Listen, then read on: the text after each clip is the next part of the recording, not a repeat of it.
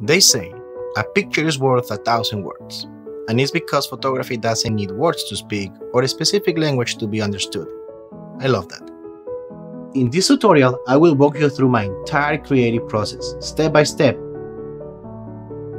from concept of the way I find inspiration to realization of an image, and I'll be demonstrating my favorite technique to create beautiful painterly images.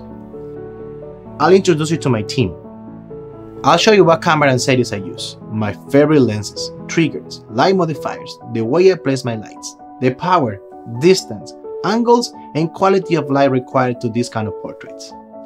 Are you ready? Of course you are. So, let's start.